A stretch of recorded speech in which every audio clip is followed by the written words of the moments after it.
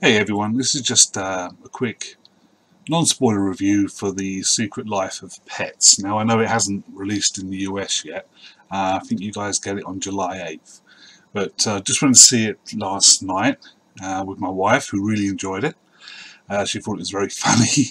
um, I come out of it with 50-50. Uh, I think I smiled just once during it and I can't. I've been trying to remember why, but for the life of me, I can't remember what it was that made me smile. But for the rest of it, I just sort of like sat there and yeah, it's okay. Um, is it a Zootopia, Zootropolis, whatever it was called in America? Um, no, it's not. Um, is it a Pixar movie? No, it's not. If you liked the Minions, that uh, Illumination, the studio who did this film, released, you, you know the sort of animation you're going to get. So this is going to be no surprise to you. Um, but it's one of those movies, it, honestly, actually think about it, it is a very 50-50 movie. Is it a kid's movie? Well, yeah, obviously, it's a cartoon animated film about pets. Does it appeal to adults? See, this is where I'm coming up unsure. It didn't appeal to me, but then it's not really aimed at, at, at me, at, the sort of person I am. I don't really like animated films.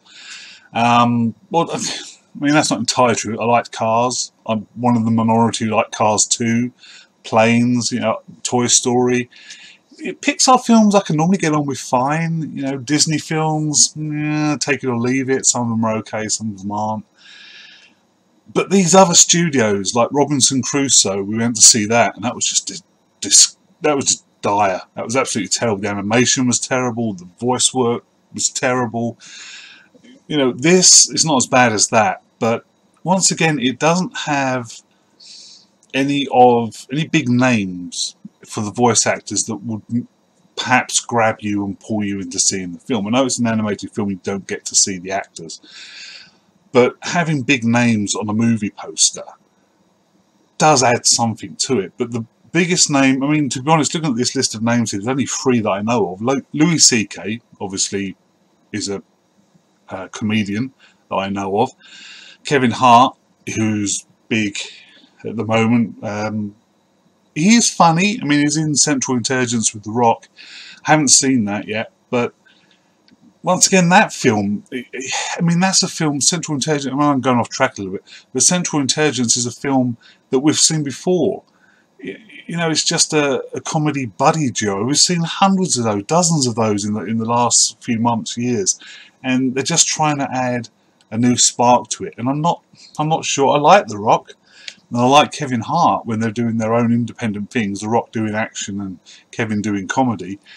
But this meld doesn't seem to work for me from the trailers I've seen. But Kevin Hart in here voices a psycho white rabbit. Um, and he's really going for it. He's way over the top. uh, the other person, um, people I know on the list, Steve Coogan, who's an English comedian over here. Um, and finally, Dana Carvey. Wow. Dana Carvey, I first saw him when he was in the short-lived TV series back in the 80s, uh, Blue Thunder. I don't know whether that ring, rings any bells. It was basically like, it, it was a wannabe Airwolf, but it, wasn't. It was, it was just like this this this uh, police unit that flew this armoured attack helicopter that was, I think it was with the LAPD um, and they had like this this side unit called Rolling Thunder. There was like the ground bit in the van with a big black guy, I can't remember his name now, and, and a white guy. Um, it was okay, it was a fun series, but that's where I first saw Dana Carvey. Then obviously his Garth in the Wayne's World uh, films, but I haven't really heard much about him since. But so they're the only actors I can, when I look at the list of names here of, of actors that are in this film, they're the only ones I recognise. I don't know any of the others. Um, and the voice talent is okay. It does the job. It, it's really that's all it does do. Um, but what worries me about this film is a lot of it, when you're just dealing with the pets, when the pets are on their own, interacting in their apartments or houses or whatever. It's cute. It's funny. It, it's kid stuff. It's going to make the kids giggle.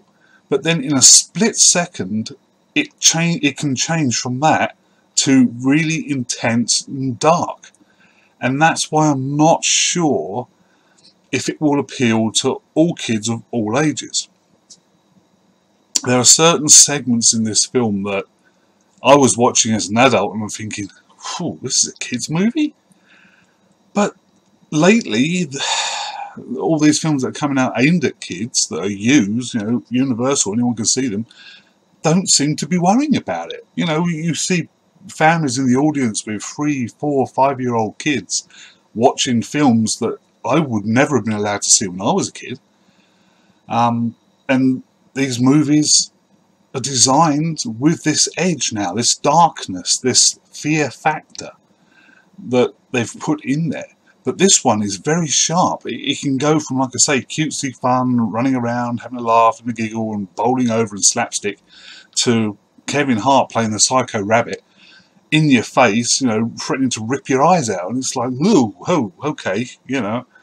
So, can I can I say it's for kids? 70% of it is.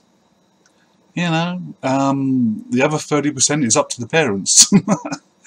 um, like I say, the film didn't appeal to me. On a 1 to 10, I would probably give it 4 or 5. It just, I just didn't find it that funny. Um, but I could see it was aiming for the, as I say, the 4 or 5 six-year-old kid audience range. That's that's who would, this will appeal to. The same as with the Minions, the other film Illumination did, as I said. So go and see it. Your kids, as I say, your kids will probably love it, and they're probably going to get scared by some bits in it, but it might be a good scare. To me, I thought it was over the top. I thought it was a little bit too close to the edge um, to be funny, scary for kids, if you know what I mean. Some of it was just plain scare, just plain, you know, deep, dark, scary. Um, it wasn't for long, it was only for a few seconds or a few scenes, um, but it's there, and you can't avoid it, and it's part of the film.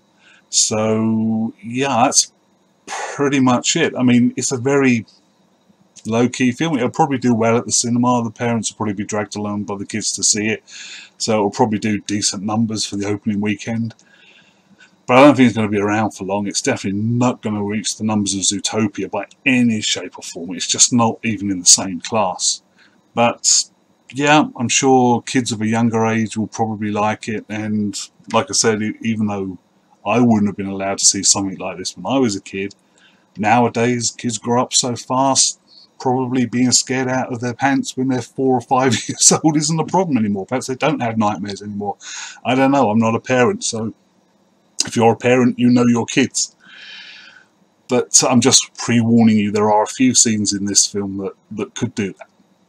But, um, yeah, that's that's pretty much it. It's very short, very sweet, not a lot to it. it. If you've seen the trailers, you've probably seen the majority of the film.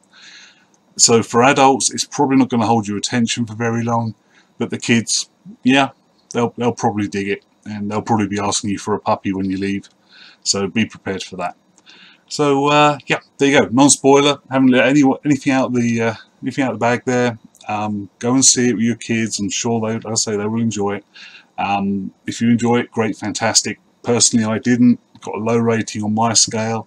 My wife would have probably given it an eight or a nine because I heard her giggling beside me all the way through the film. So obviously, for some adults, it, it's going to work. Um, but it, yeah, just didn't hit the right notes with me. But there you go. So you guys take care. Thank you very much for watching the short review of The Secret Life of Pets. Let's just hope our pets aren't like this when we're not around. Take it easy.